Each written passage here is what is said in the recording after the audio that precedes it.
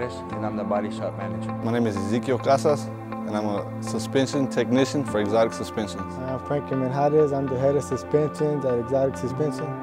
My name is Joel Alvarez. I'm the owner of Exotic Suspensions in Odessa, Texas.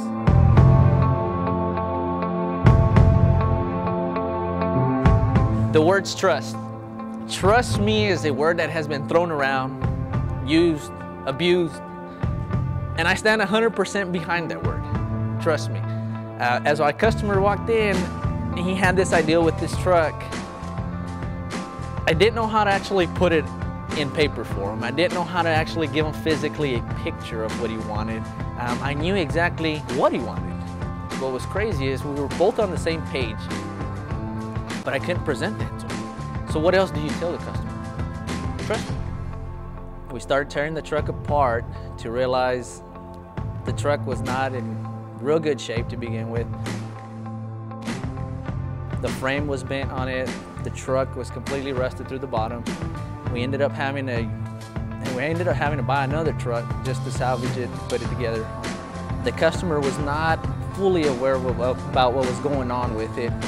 I was almost more afraid to tell him how bad the project was. So when he initially came to me and told me he just needed a regular paint job, I was real quick to jump on it. But after tearing the truck apart, I, I almost regretted getting into it to the point to where it was easier to refund him his deposit than to continue with the project. I talked to the customer and he openly told me, what is your opinion on it? What do you think? What would you do with it?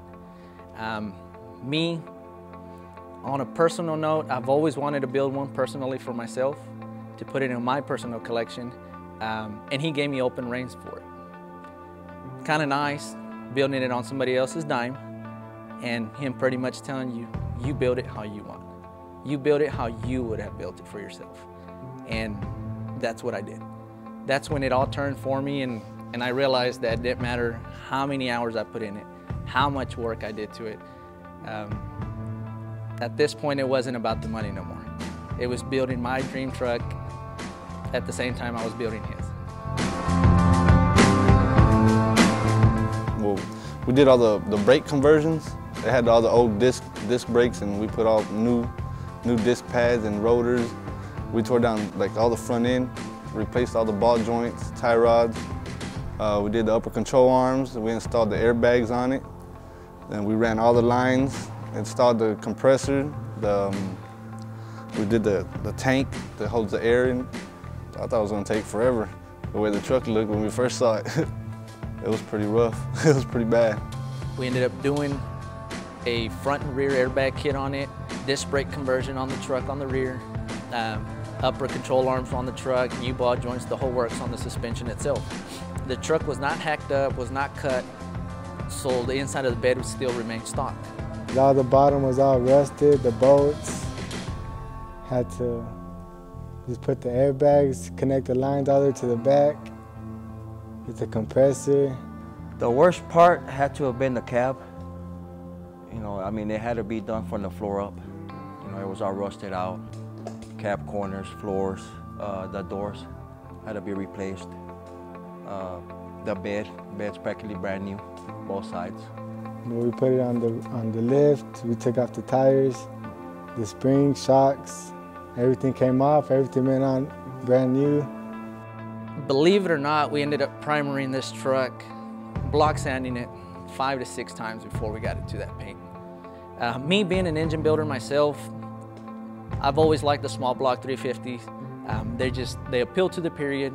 They're pretty easy to work on and you can physically get them running good and they're just nice engines overall. Plus they fit the period of the truck. So I disassembled the engine myself. We sent it off to the machine shop. We kind of put it back together uh, here in-house. Uh, we put a cam in it, uh, went through the internals, put all new gaskets in it. Once you start putting all the little chrome accessories on it, um, you get that final look to it, the fine detail to it that will set the truck apart from anyone else.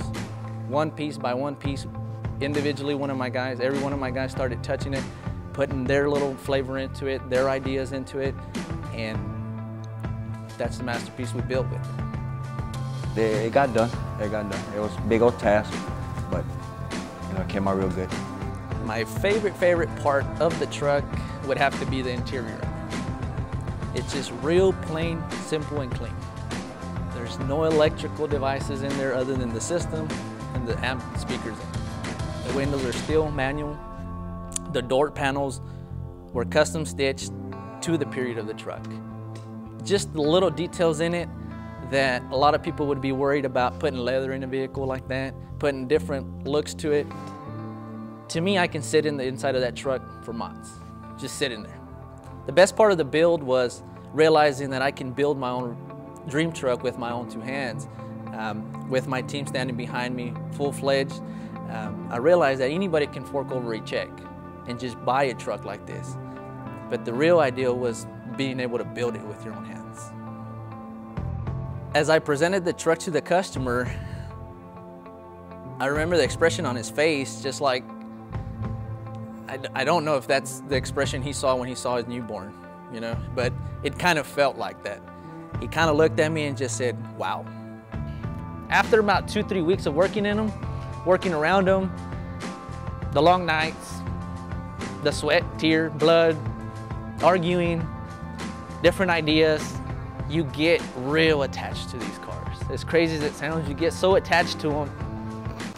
I've come across a couple of them, the C10 being one, that I've almost came to the point to tell the customer how much you want for it. It's just hard to get rid of them.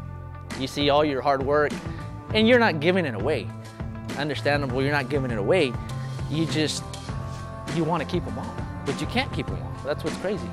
So what do you do? You let your art just hit the streets. You let other people enjoy what you do, and that in itself will bring more customers. Because um, it won't do you any good if you just keep them put up. So might as well let it go. It's paid for, so let it go.